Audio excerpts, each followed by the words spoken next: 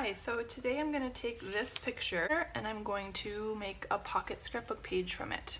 I'm imagining that this picture will go in these four pockets. So I'm going to end up splitting the picture two ways, fitting it in four pockets. I've pulled some paper here from my stash. But I saved these because look how cool those are.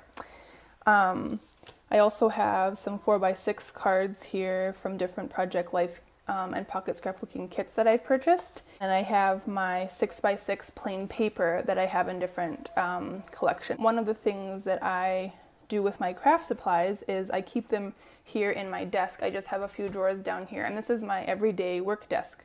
So um, I've had to become creative with the types of supplies that I keep on hand and then um, the ones that are most easily adaptable to the type of crafting that I do. So that's why I just have the 6x6 pads. Um, I used to have a stash of 12x12s, but I found I didn't go to those nearly as much and they took up a lot more room. They did not fit in this desk and um, so then I wouldn't naturally go to them as easily.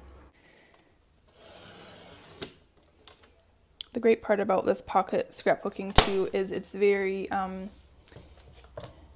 it's quick, but then you only can have to think about really like one pocket at a time.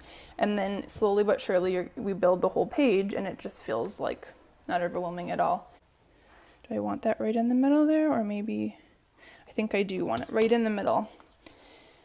Um, that's the tricky part about doing squares is a lot of times that offset kind of look um, of thirds that works with the typical 4x6 if you want to be safe when you're working with squares, just keep your design right in the middle of that frame.